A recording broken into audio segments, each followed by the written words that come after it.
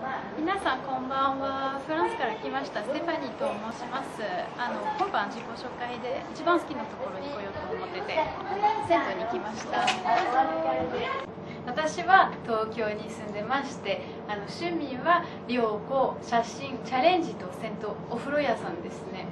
銭湯は最近なくなってる文化なんですけど私はとっても残念なことだと思いましてあの大事な文化なので今あの世界中とその銭湯の情報を発信してます。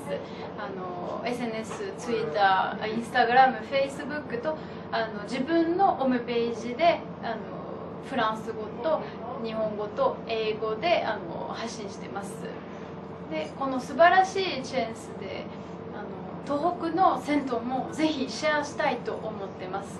で銭湯を回りながらその近くにある民宿や旅館とかあのとても大好きな日本の料理屋さんとかあの東北の伝統的な文化をあの体験しながら世界中とシェアしたいと思ってます。